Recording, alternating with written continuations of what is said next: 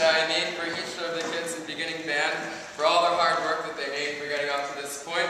So I will give it to them, and after that they can start unpacking their instruments. But thank you guys for coming out, and um, I look forward to hearing all the rest of the music they're going to be performing this year.